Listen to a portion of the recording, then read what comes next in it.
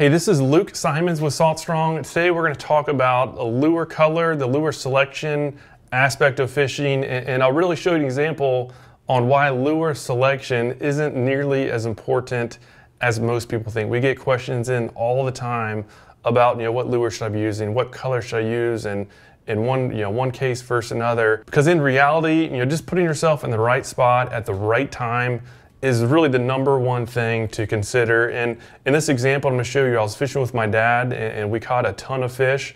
But as you'll see in the video and the footage, they were caught on a lot of different lures. I have the lures here.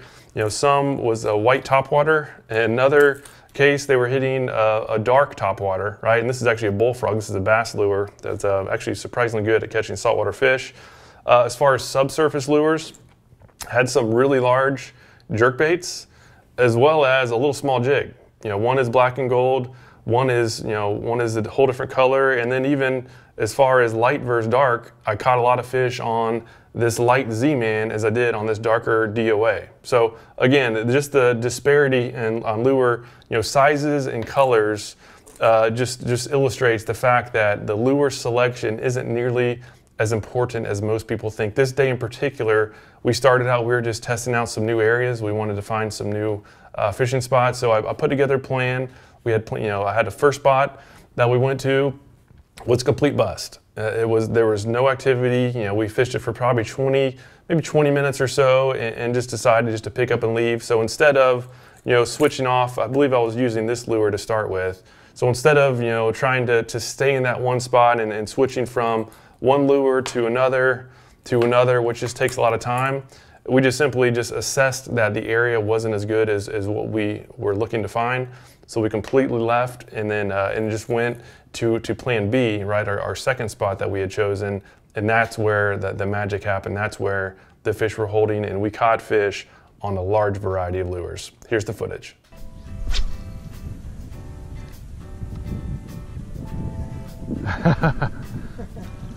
That's a solid fish.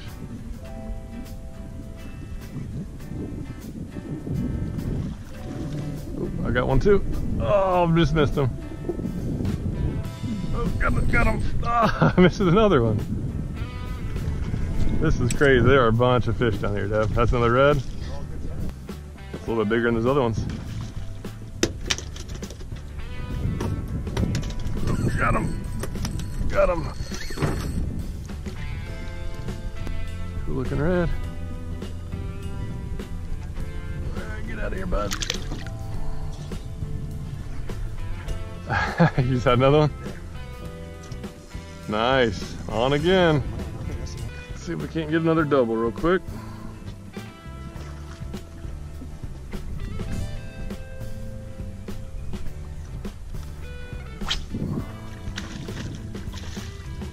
Oh, got him. Oh, oh, got him again. There are a bunch of reds down there.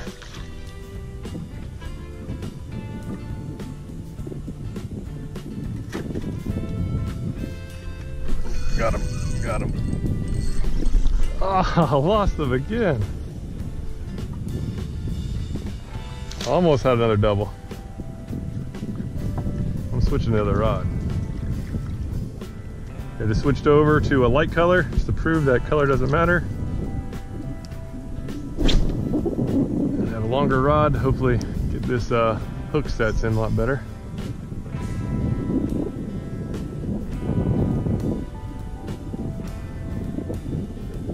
Got him. That didn't take long.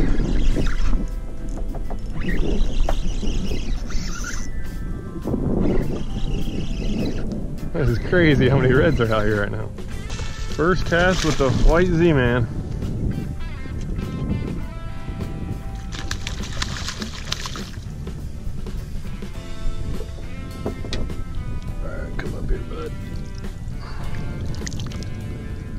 Looking fish. Yeah, I just switched over. The other rod was uh, it's a shorter rod and or it has less power and I just couldn't get the hook sets going. Oh, got one.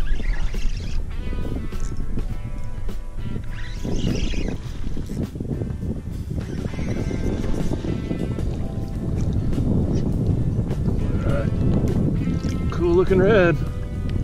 Copper.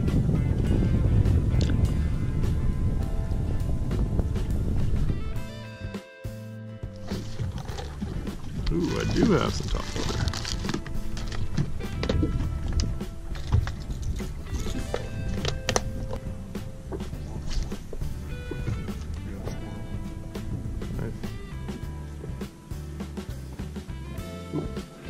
Ooh, eat it. Oh, oh, oh. Oh, keeps missing.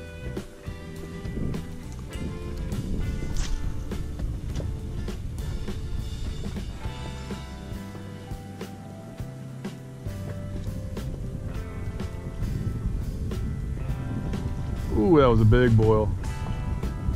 Eat it.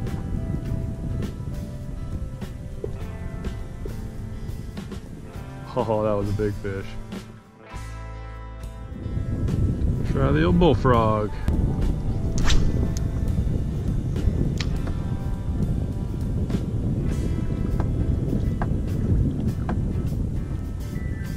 Oh, got first cast.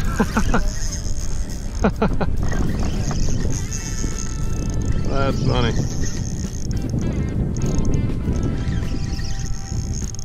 They're not missing the bullfrog.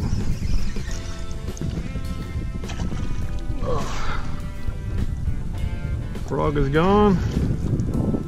You got what you got on red too? Nice. Little guy, frog, redfish.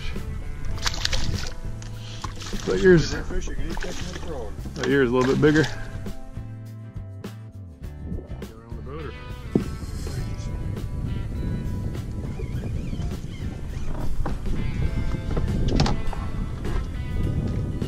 Red or snook? Yep, nice red.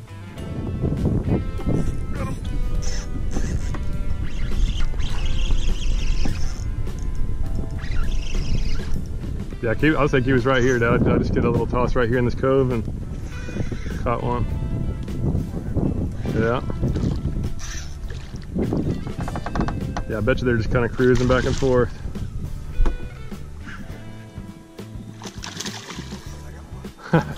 Double. Ah, I think you beat me again on size.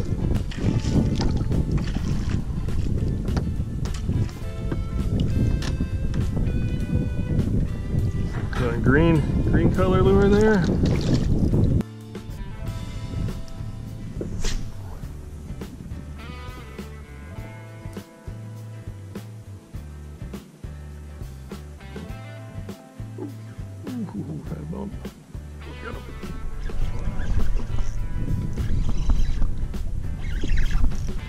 Cool looking red there, a real dark one. Come here, bud. Barely hooked.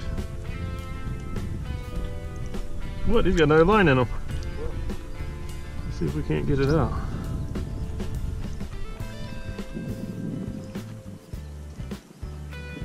That's real deep. At least get him. Could get them a little bit less line to mess with. All right, bub. There we are. Good as new. Proof that they don't die when they saw the hook. And on our way back, we uh, we hit up a few points and uh, and caught these few snook before he- heading back and getting some lunch. So if you find yourself wondering, you know, what color lure to use, uh, or what size, or what type, you know, really, uh, I would say just focus on one. Get one that you like, and one that you know, and one that you trust, and, and just focus on, you know, put the focus on finding better areas and putting together a plan, a strategic plan that will enable you to to find the trends. Because really, every day is a puzzle, and it's all about just putting the pieces of that puzzle together as fast as possible. And if you're focusing just on lures without focusing more on, on your plan on where you're going and why you're going there, then, then you're just not going to have consistent results. And if you need help with that, we have an Insider Fishing Club where we teach everything you need to know. We teach you know how to read online maps, most importantly, how to assess an area, right? How to assess an area is, is a feeding zone or a dead zone. That is really what turned that day, the, all that footage that you saw, that's what turned a day that would have been a complete bust had we stayed in that first zone, had we not assessed that it was that it was bad quickly, we would have spent way too much time there instead of going to this other spot, which was surprisingly good. We caught all those fish in like a probably like a hundred yard span. It was uh, it was really really fun, and, and even better is that that was the first time we've uh, we fished that. So anyhow, if, yeah, if you do want some help on, uh, on just creating a plan and, and, putting together a strategic plan on, on based on the, the weather, based on the season, and on the tides, just how to put it all together. Because unfortunately, it's not just, hey, you do one thing and that's going to magically solve your problems. There's just a lot of little small things when put together make a huge impact. And that's really what this Insider Fishing Club is focused on. So if you want to learn more about that Insider Fishing Club, know, scroll down below and I'll put a link to it and you can learn more about it. But uh, anyways, yeah, thank you so much for your time and watching this video. If you have any questions, feel free to leave a comment down below. Otherwise, yeah, thank you once again for watching. I hope you can get out on the water soon and catch some big ones.